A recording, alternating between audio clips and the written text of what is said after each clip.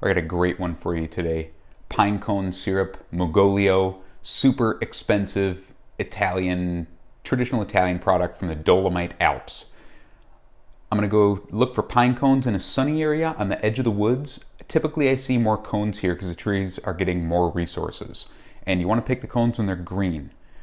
Uh, the exact size is debatable, just make sure they're green. Any of the cones here pictured will work, but you'll get more mileage out of a cone right around the middle.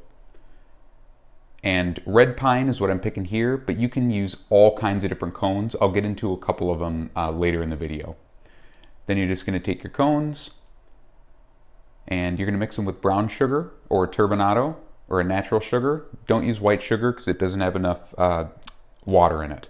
And put everything into a jar and let it sit. Now the magic is gonna happen. You're gonna let it sit for about 30 days. But after about 10 days, all of the water is going to come out and it's going to start to ferment. Yep, look at all those little fun bubbles there. So that lowers the pH and it makes this syrup that tastes like pine cones totally shelf stable, just like maple syrup. Uh, even more so because it's fermented. And after at least 30 days, but more if you like, scrape everything into a little non reactive pan because it's acidic, so you don't want to use cast iron. And you want to bring it up to a simmer and really melt all the sugar. You need to make sure all of it is melted. One thing you might notice, this is really only a thing with larger batches, is that you may see foam at the top. This is from like a 10 pound batch, okay? So you can skim that off if you do a big batch. On smaller batches, it'll probably settle and you don't even need to worry about it. Like this pint jar here, it's not even worth worrying about. It's going to settle, it'll be fine. But make sure all the sugar is melted there, and then it's time to jar it up. So you just strain it, put it into a non-reactive container. This I'm just gonna put in the fridge, so I'm gonna put a plastic lid on it, but you can can this easily and you don't even need to water bath process it. You can just turn the jars upside down just like maple syrup because it's very similar in the sugar content and even has a lower pH. So there you go.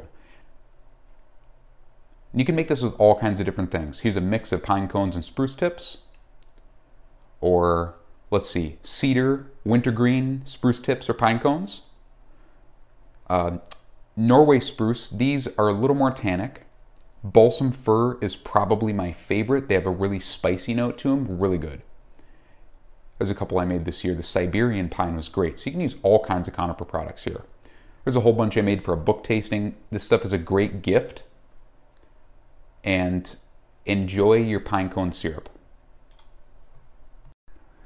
And if you watch this and you're interested, just know that this recipe is in my book, but there is a really in-depth walkthrough on my website, and I will put a link in the comments to that.